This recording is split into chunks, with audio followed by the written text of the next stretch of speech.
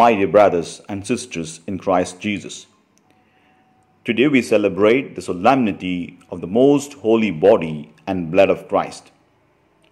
We read from the Gospel of Mark, chapter 14, verses 12 to 16 and 22 to 26.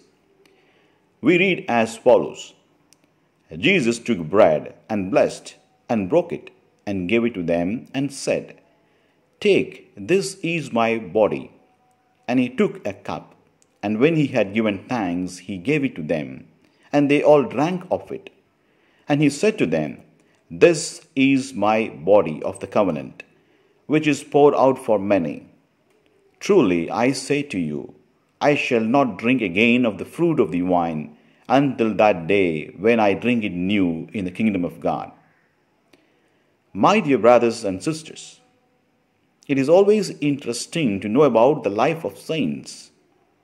Saint Emmanuel Gonzalez, greatly influenced by the life of Saint Jose Maria because of his love for our Lord in the Eucharist. On 15th June 1935, this holy bishop ordained 14 deacons to the priesthood in Madrid. Just at the end of the ceremony, he said something that Jose Maria never forgot. In tears, the venerable old bishop said to the newly ordained priest, Treat him well, for me, treat him well. He is known as the bishop of the abandoned tabernacle and spent his life reminding of the people of the need that Jesus has to be accompanied in all the tabernacles of the world. The bishop wrote, What joy fills my soul no matter how much God is offended, despised, blasphemed, and unjustly treated by many men, we can give God infinitely more glory than the glory that all the sins of man can take away from him. Do we understand now why God, in his wrath, has not yet smashed his bile of sins earth into a thousand pieces? Do we understand now why there is sunshine during the day, and moonlight at night, and timely rains? And joy and the power and the virtue on earth and the communication of God with every children of men because of the holy mass.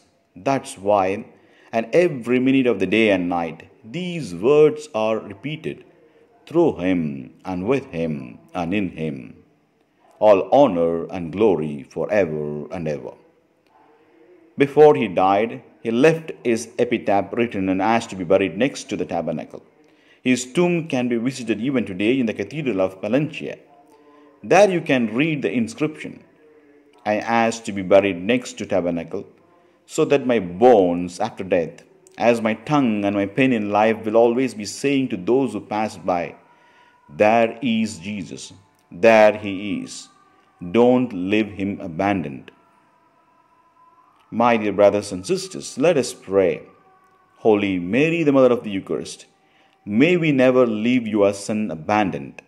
Let us accompany you as you watch over the tabernacles where your son spends most time alone.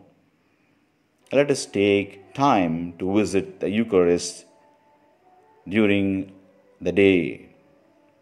May all our actions glorify God. Amen.